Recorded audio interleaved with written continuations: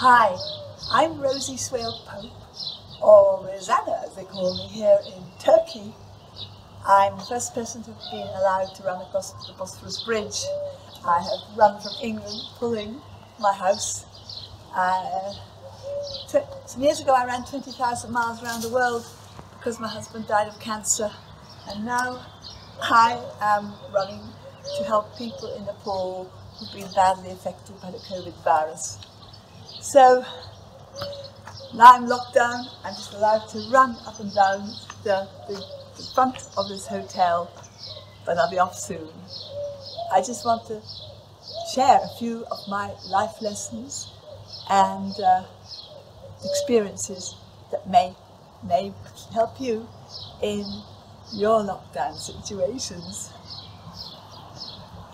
And my big message is you can do anything if you have the big reason to do it. You can go further than you can, thought you can. You can really deal with everything that life throws at you.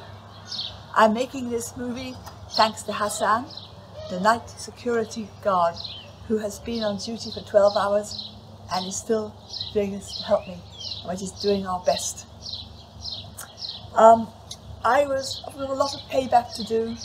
I was uh, I was born thanks to somebody believing that impossible was actually possible.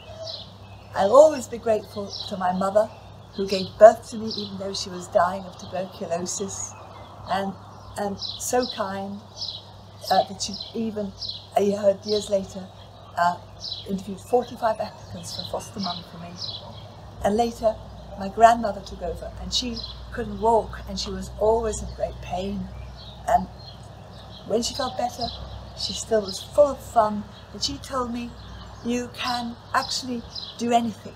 You don't have to be defined by your past. You don't have to be defined by your circumstances. She actually used to say, because I was a backward, gawky kid, Rosie, it is not good looks or natural gifts that count the most. It's wanting to do things with all your heart that makes the difference, and you can do it. Yeah.